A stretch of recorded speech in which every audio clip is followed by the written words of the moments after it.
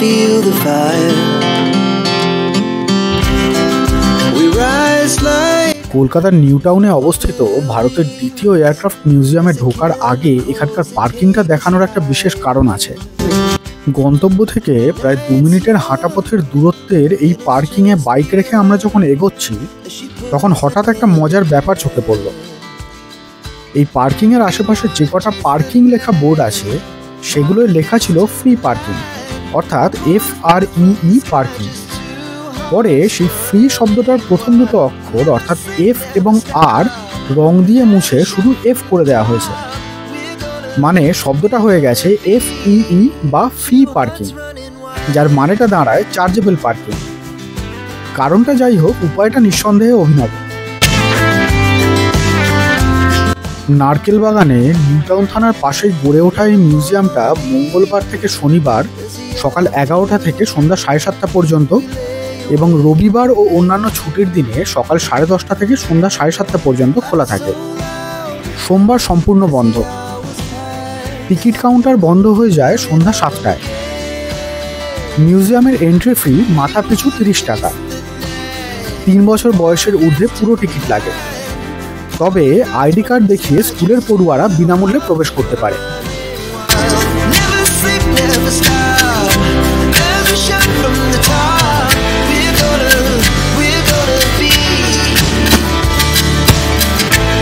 পশ্চিমবঙ্গের মুখ্যমন্ত্রী মাননীয় মমতা ব্যানার্জি আটই জুন দু হাজার বাইশে এই এয়ারক্রাফট মিউজিয়ামটি উদ্বোধন করেন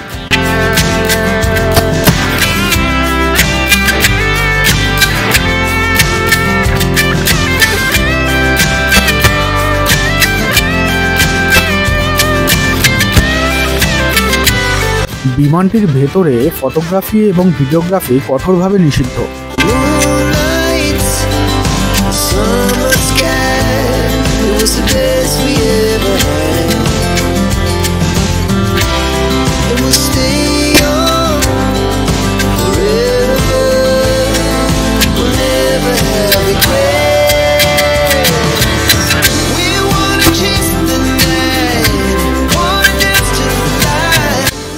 Kolkata metropolitan development authority KMDA প্রাথমিকভাবে একটি সামরিক মিউজিয়াম তৈরি করার উদ্যোগ নিয়েছিল। বিশাখাপত্তনমের পরে এটি দেশের দ্বিতীয় এয়ারক্রাফট মিউজিয়াম পশ্চিমবঙ্গের হাউজিং ইনফ্রাস্ট্রাকচার ডেভেলপমেন্ট কর্পোরেশন অর্থাৎ হিটকো বিশ্ব বাংলা গেটের প্রতিটি পায়ের কাছে একটি করে আকর্ষণ তৈরি করার লক্ষ্য নিয়েছে। সেই উদ্দেশ্যেই প্রায় দুই একর জমি বেছে নেওয়া হয়েছিল। কনস্ট্রাকশনের কাজ সম্পূর্ণ হলে কেএমডিএ মিউজিয়ামটিকে হিটকোর কাছে হস্তান্তর করবে। প্রথম পর্যায়ে ভূমি পরিষ্কার এবং সমতল করে ভিত্তি স্থাপন করা হয়। পরে এখানে বিমানের বিভিন্ন অংশগুলিকে ইনস্টল করা হয়। প্রাথমিকভাবে দু কুড়ি সালের মাঝামাঝি সময়ে মিউজিয়ামটি খোলার পরিকল্পনা করা হয়েছিল। কিন্তু কোভিড নাইন্টিন মহামারী এবং লকডাউনের কারণে পুরো প্রক্রিয়াটাতেই বেশ দেরি হয়ে যায়। As she puts her hand in mine. We wanna chase the night, wanna dance to the light. Pull stars from the sky, just two hearts running wild. Never sleep, never stop. Every shot from the top. We're gonna, we're gonna be two hearts running এই aircraft মিউজিয়ামটি তৈরি করার জন্য দু হাজার কুড়ি সালের ফেব্রুয়ারিতে ভারতীয় নৌবাহিনীর একটি বাতিল উনত্রিশ বছর পুরনো Tupolev TU one forty two M বিমান পশ্চিমবঙ্গ সরকারের কাছে হস্তান্তর করা হয়েছিল। বিমানটির বিভিন্ন অংশ ষোলোটি ট্রাকে করে তামিলনাড়ুর আরাক্কো নামের আইএনএস রাজালি থেকে আনা হয়েছিল। পরিবহন এবং ইনস্টলেশনের খরচ রাজ্য সরকারই বহন করেছে। দু হাজার কুড়ি সালের মার্চ মাসে কেএমডিএ দ্বারা বিমানের ইনস্টলেশনের কাজ শুরু করা হয়। এর আভ্যন্তরীণ এবং আশেপাশের প্রদর্শনীগুলো, যেমন একটি ম্যানিকুইন পাইলট, বোমা, যন্ত্রপাতি ইত্যাদি নৌবাহিনী তৈরি করে। মিউজিয়ামের মাস্টার প্ল্যান এবং আলোকসজ্জা ডিজাইন করেন কলকাতার আর্কিটেক্ট দেবমাল্য গুহ। এই মিউজিয়ামটিতে বিমান ছাড়াও একটি চিলড্রেন্স পার্ক এবং কফি শপ রয়েছে।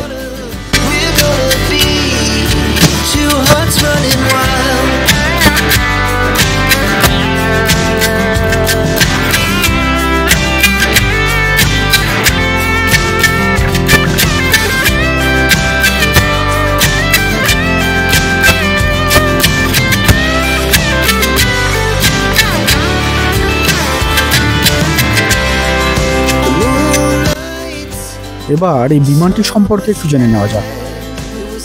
Tupolev TU one forty two M হলো একটি Soviet Russian anti submarine warfare, অর্থাৎ এএসডব্লিউ বিমান। এই বিমানের ডিজাইন এখনও রাশিয়ান নৌবাহিনীতে ব্যবহার করা হয়।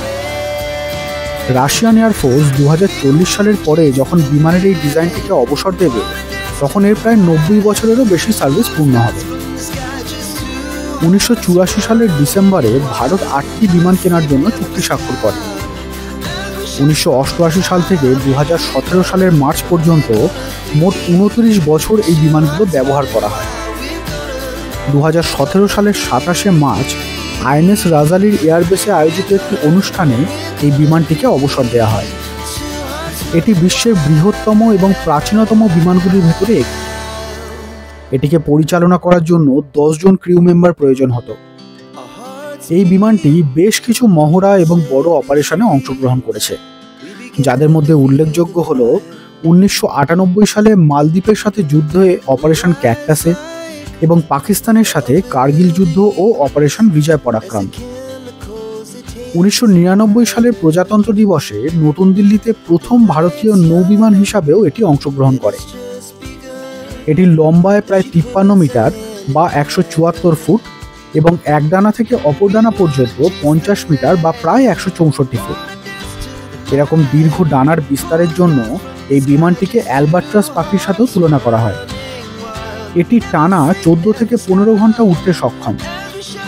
এর চারটি ইঞ্জিনের প্রতিটির ক্ষমতা প্রায় পনেরো হাজার হর্স পাওয়ার এবং প্রতিটি ইঞ্জিনে ওয়ান পয়েন্ট ফাইভ টন করে জ্বালানি লাগে। বিমানের একেবারে পিছনের অংশে যে টেন্থ ক্রিউ মেম্বার বসতেন, তাকে বলা হতো ফ্লাইট গানার তিনি একটি twenty three M M double barrel gun operate করতেন, যেটা থেকে এক মিনিটে বারোশো রাউন্ড বা এক সেকেন্ডে প্রায় কুড়িটা আট ইঞ্চি সাইজের বুলেট ফায়ার করা যেত